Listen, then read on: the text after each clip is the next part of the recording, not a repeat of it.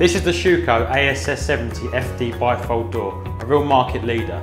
All it stands for is aluminium sliding system. 70 refers to the profile depth, folding door.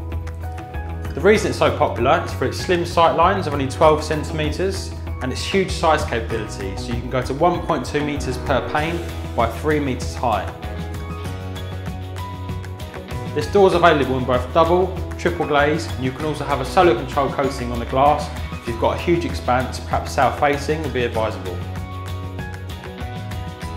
This door is also available in any RAL colour, so in a matte or gloss finish, and also you can have it in a dual colour finish, so perhaps a grey on the outside and a white on the inside. So when you turn the key, you'll see a large deadbolt appears, which locks into the lock and keep in the side of the frame. You get hook bolt and another deadbolt at the top, that's also replicated at the bottom, so it's five points of locking. Now when you open the door, you'll see door one connects onto door two. The substantial peg stay to keep open in the wind.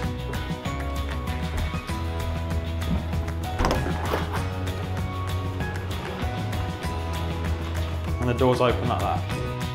Now these doors, the Schuco doors, are great for families with kids because they have really thick anti-finger trap gaskets, I'm going to show you now. If kids get fingers caught in them, they won't take your fingers off. Put your fingers right in between the doors and pretty much close them, nothing happens. I hope you found this video useful. If you have any questions about this door system or would like a quote, please feel free to get in touch.